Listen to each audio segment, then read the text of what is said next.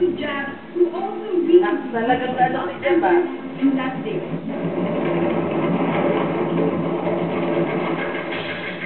Jab has not only watched Sports Unlimited, he lives the lifestyle. One of his favorite places to go to is Red Rock Canyon, a beautiful oasis just 20 minutes off the Las Vegas Strip.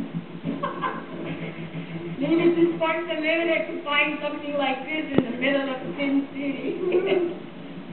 Marc, nothing to this.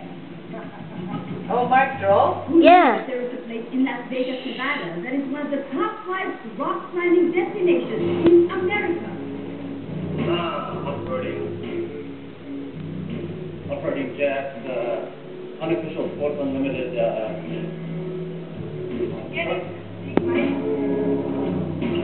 Deja vu. Marc, behind the wheel of a 4x4 with Jack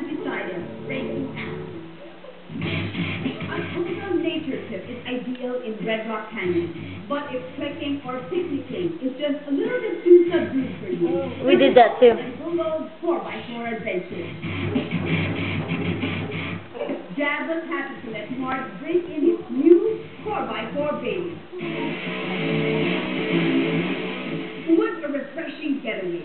If you are in Vegas, we highly recommend a trip to Red Rock Canyon. It won't hurt giving a slot a rest to visit this jackpot of a place. Thank